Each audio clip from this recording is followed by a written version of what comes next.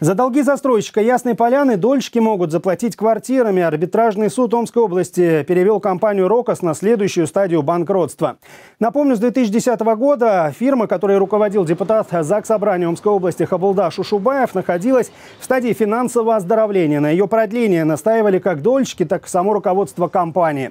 Однако суд отклонил ходатайство, и теперь «Рокос», скорее всего, ждет распродажи имущества в пользу кредиторов.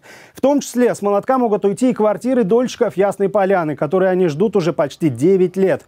Конкурсного управляющего назначат 27 декабря. Между тем, руководство компании еще на прошлой неделе уверяло, средства на завершение строительства есть. У нас существуют активы, сейчас освободившаяся земля, квартиры, разное все, более, на сумму более 2 миллиардов рублей. На достройку девятого дома надо 120 миллионов рублей. На установку котлов надо 6 миллионов. Все. Больше затрат там нету. Если введут все-таки банкротство, то тогда все люди, согласно существующего нынешнего законодательства, они эти квартиры не получат. Однако ни суд, ни кредиторы, ни дольщики уже не верят обещаниям Рокоса. Потому процедура банкротства компании продолжается пока не в пользу собственников квартир. Сейчас они ждут того, что их поставят в один ряд с кредиторами. Однако есть риск, что в своей очереди на возмещение убытков люди так и не дождутся. Долг Рокоса перед главным истцом казахстанским АТФ банком составляет почти полмиллиарда рублей. Если опять же взять вот э, все эти годы, вот, которые называли банки, что это с 2012 года они все это им прощают и чего-то ждут, как, впрочем, и мы, а действий-то никаких не предпринимается, э, где он возьмет деньги? Он же даже не сказал этого.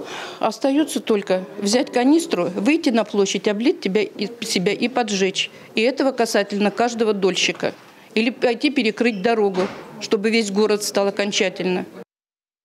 Но если у дольщиков перспективы после этого решения все-таки получить свои квартиры, предлагаю послушать комментарий эксперта. Конечно, будет достроено все это.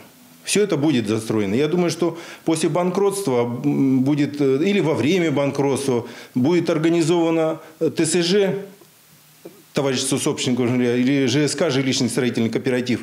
И людям придется еще вложиться, чтобы доделать свое же жилье. Да, вариантов других не будет. Да, люди пострадают. Но э, виной тому вот господин нам всем известный вместе с Рокосом.